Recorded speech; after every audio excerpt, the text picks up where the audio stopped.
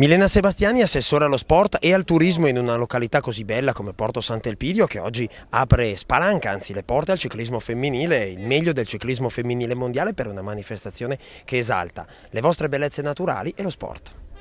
Sì, veramente un connubio perfetto e sono stata così contenta di ospitare questo Giro Donne. Chi meglio di me, che sono assessore allo sport donne. Domanda. No, va bene. Va bene che cosa? Eh, può dare solo la risposta. Ok, riparte lei. Ok, subito. Eh, come? vuole?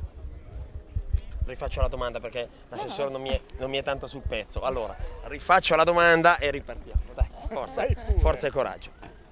Milena Sebastiani, assessore allo sport e al turismo qui a Porto Sant'Elpidio, una località fantastica, eccellente dal punto di vista turistico che oggi combina eh, a questo determinante aspetto quello dello sport, in modo particolare lo sport al femminile con il Giro Donne.